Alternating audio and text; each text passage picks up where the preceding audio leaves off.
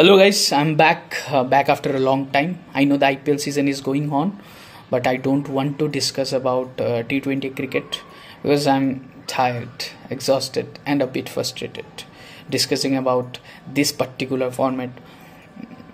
Cricket is kind of uh, a religion for us. It's indeed a religion for us, but nowadays I have seen I I, I am actually seeing a drastic change. Uh, that is the culture from cricket being the religion to T20 cricket being the real religion, and from real cricket fans to seasonal cricket fans and all the social media toxicity in between. The division of Rohitians, Viratians, and MSDians, the projection of a cricketer as God is dominating the market. And the fantasy games is the icing on the cake because the fantasy games is completely insulting the game only.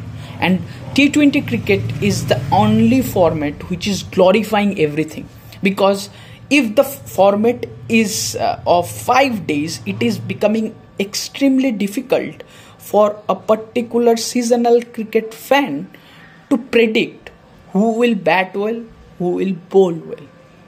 Now, you can question me because it has its legal acceptance and, and I admit it. That's why I am not saying you should do it, you shouldn't do it. Because ethically, I can question you.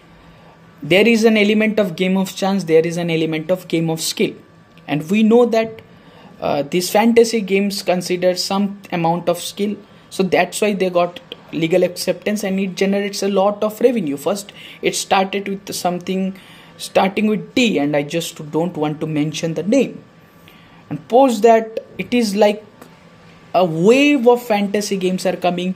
The cricketer cricketers are also promoting it like anything and it is very much uh, disturbing to see so in this video, I just don't want to talk about T20 cricket. I just want to talk about the new team which we got for the World Test Championship final. And India is the first team to play back-to-back World Test Championship finals, and it's a matter of pride for us because after having this kind of league, we haven't lost the zeal in Test cricket the culture is still there and we are hoping that the culture will stay.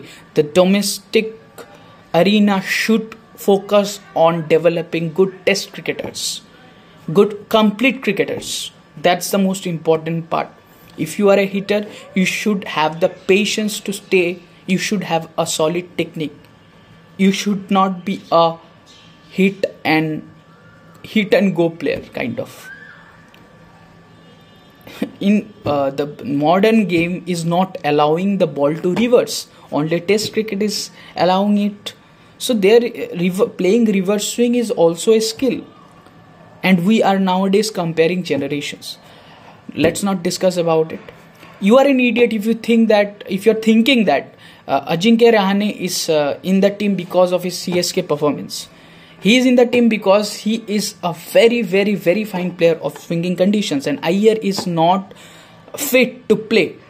After that you have Vihari or uh, Sarfaraz. Sarfaraz is, hasn't played a game for the country and he has performed predominantly uh, predominantly in the subcontinent conditions. So Ajinkya Rahane picks himself.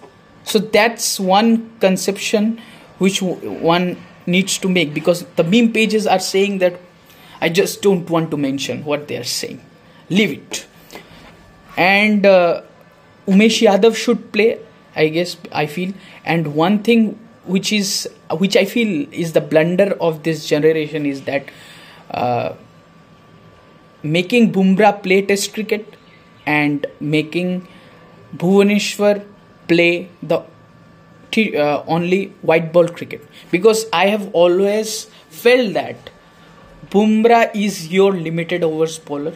And because of the fitness issues because of the workload management because of the volume of matches India play Bhuvaneshwar should have played test cricket only. Because in English conditions, no no bowler can match the skill level of Bhuvaneshwar, and we'll miss it. Last time we also we have missed it, missed him, and this time, I guess Umesh Yadav and Mohammad